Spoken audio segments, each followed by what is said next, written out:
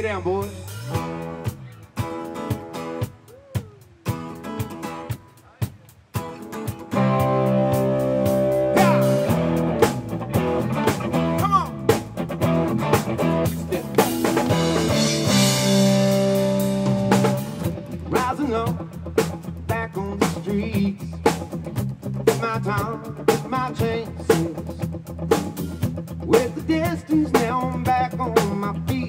I'm a man and I got ways to survive.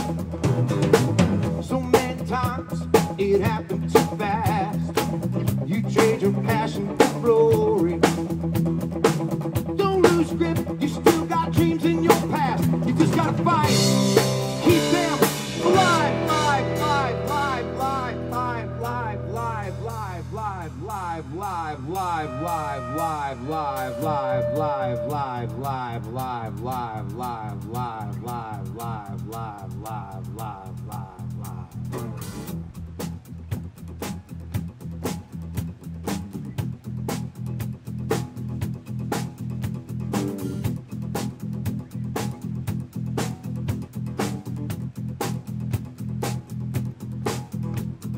Here's a little story that I got to tell about three bad brothers you know so well.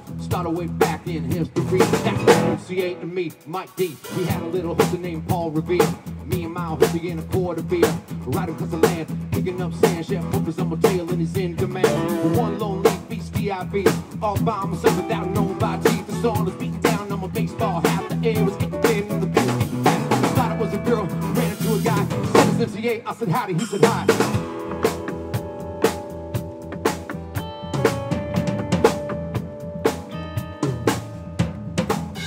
Six hours and we hit the spot. You know the beats were bumping and the girls were hot.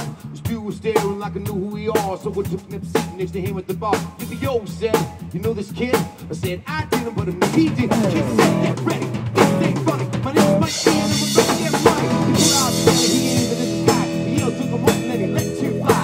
Hands are up, people hit the floor. You wait two kids, ran for the door. I'm like, he in a get respect. Your cash and your jewelry's what I expect. He was winning, and he's my ace. So I grabbed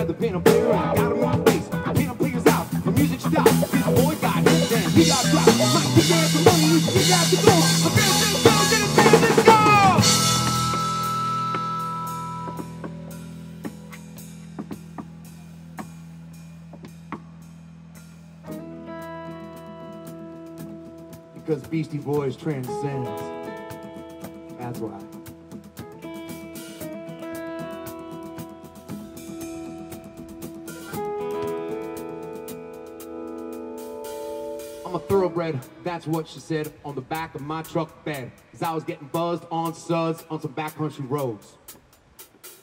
Feeling fine, I was drinking red wine, I was going about it, I'm having my own time. Going about as far as she'd let me go. So her evaluation of my cowboy reputation had me begging for salvation all night long. So I took her out, digging in the bars,